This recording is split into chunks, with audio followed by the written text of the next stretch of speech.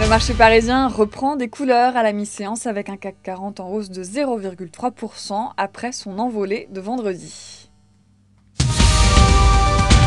Pas de pause pour les valeurs bancaires après leur envolée de vendredi. BNP Paribas prend la tête du CAC 40 en hausse de près de 4%. les investisseurs ont fait une deuxième lecture plus favorable des propos du patron de la Banque Centrale Européenne, Mario Draghi. Technip est à l'équilibre. Le groupe va procéder pendant 5 ans à des missions d'inspection, de réparation et de maintenance pour le compte de ConocoPhillips. Publicis, de son côté, a démenti durant le week-end la rumeur selon laquelle il étudierait une offre à 6 milliards de dollars au moins sur l'américain Interpublic. Et puis euh, Sanofi euh, cède 1,8% malgré plusieurs recommandations favorables d'analystes.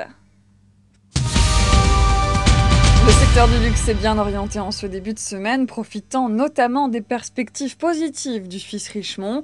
Ses ventes pour les 4 mois clos fin juillet sont en croissance de 24%, dont 13% à change constant. De quoi amener son résultat opérationnel et son résultat net à croître de 20 à 40% chacun. À la clôture semestrielle, ce sera le 30 septembre.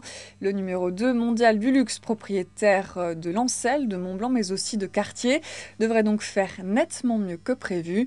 Ce midi, les titres PPR et LVMH progressent donc dans son sillage.